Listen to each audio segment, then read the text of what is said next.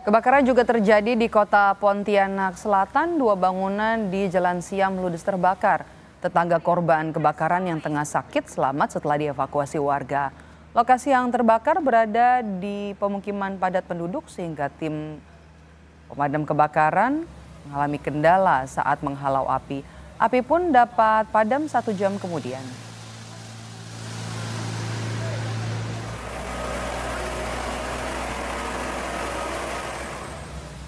Kesulitan kita pertama-tama air, tapi dengan kawan-kawan bahu-membahu juga dari kawan-kawan komunitas dari PMI juga mensuplai airnya kepada uh, tangki pemadam. Alhamdulillah dengan kerjasama yang baik, uh, kami dapat menanggulangi dua buah rumah semi permanen.